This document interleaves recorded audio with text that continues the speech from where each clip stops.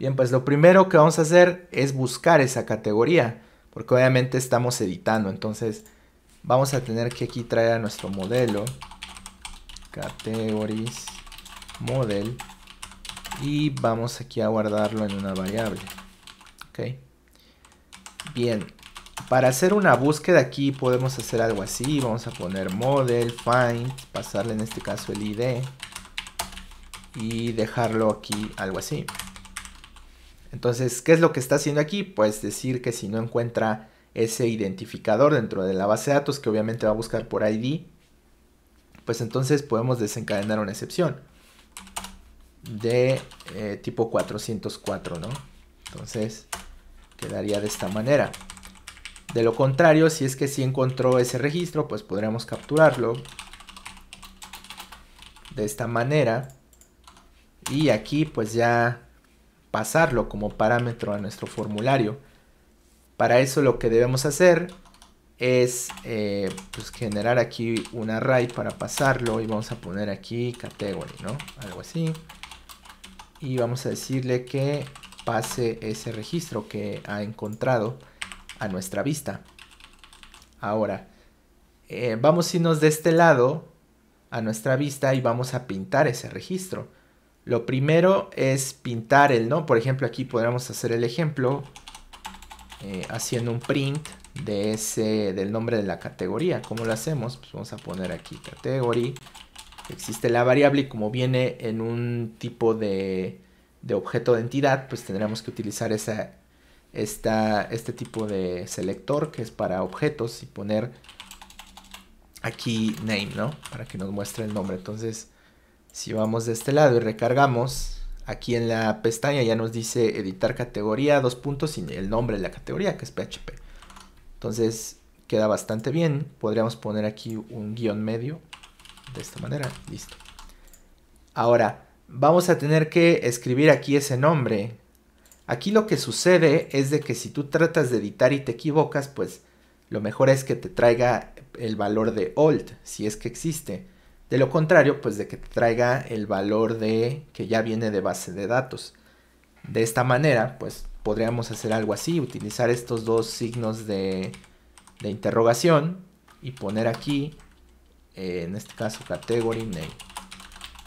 ¿Cómo es que funciona esto? Pues muy simple, si es que existe este valor, pinta ese valor.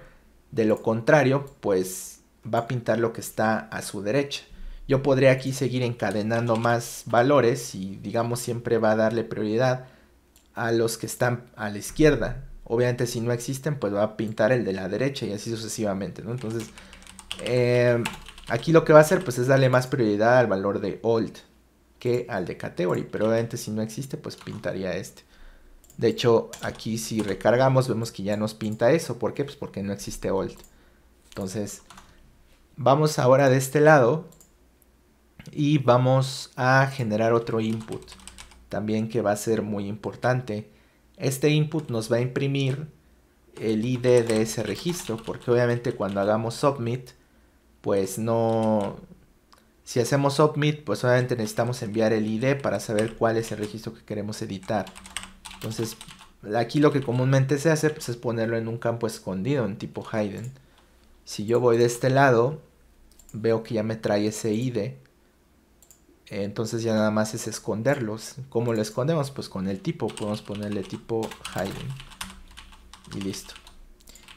Entonces así quedaría nuestro formulario. Ya solamente pues hay que hacer el procedimiento de validar los, datos. Bien, entonces primero vamos aquí a ponerle sus name correctos para que lleguen cuando haga el submit.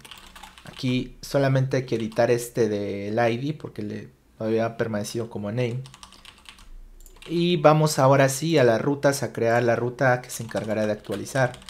Podemos copiar esta de guardar que es algo muy similar.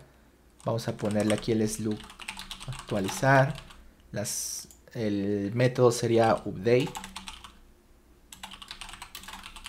Y aquí en el alias, pues vamos a ponerle igual, ¿no? Update. Categories update. Entonces ya tenemos preparada nuestra ruta. Vámonos de este lado a nuestro controlador y vamos a crear ese método. Public function update. Y bueno, aquí qué es lo que haríamos? Pues casi lo mismo que guardar.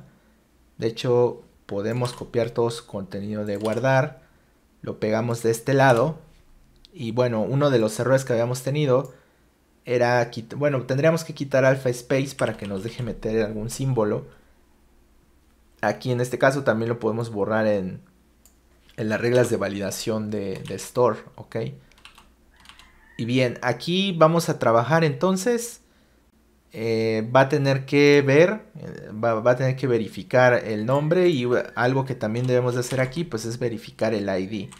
Entonces vamos a poner el ID, obviamente que sea requerido y vamos a poner aquí without, no, perdón, with, no, no sea, sería este is not unique para verificar que efectivamente se encuentre ese ID en base de datos, si no trataríamos de actualizar algo que no existe. Pues la tabla se llama categories.id. Ok. Y bueno, prácticamente quedaría así nuestro, nuestras validaciones. Verifica que exista el ID que tratamos de actualizar y obviamente verifica que tenga un formato correcto el campo name.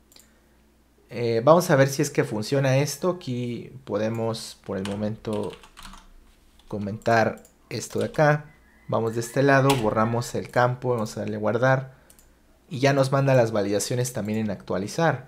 Si te das cuenta está funcionando tal y como en, el formulario de crear. Entonces ya nada más hay que, hay que revisar los, los datos.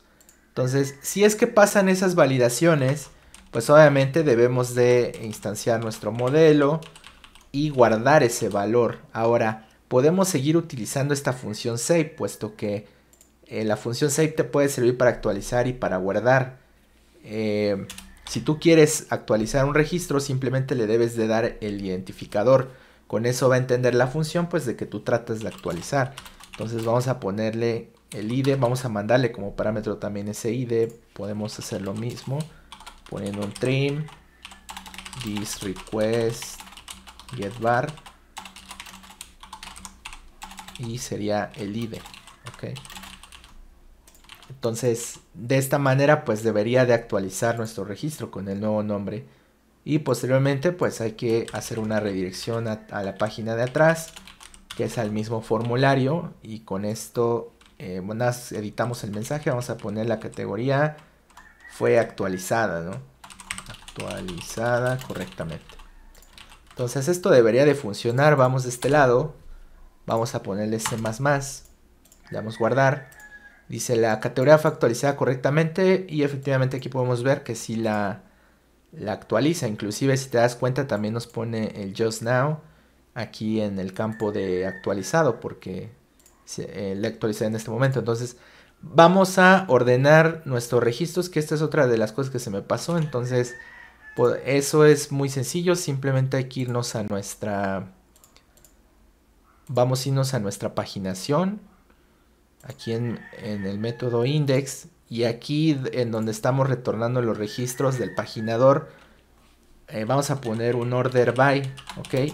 Recuerden que esto pues sigue siendo un método válido del modelo. Aquí podemos meter un where, etcétera, etcétera. Todas las cuestiones sean del query builder o de o del mismo modelo podemos usar esas funciones. Entonces vamos a decir que ordene los registros por, eh, podría ser por ID tal vez, eh, podría dar buen resultado poner por create at, ¿no? Para que nos, de forma ascendente, ask, no, de, sería desk, nos muestre esos registros. Entonces, vamos de este lado y recargamos y ya, los primeros que hemos, bueno, los últimos que metimos nos van a aparecer hasta arriba de la tabla.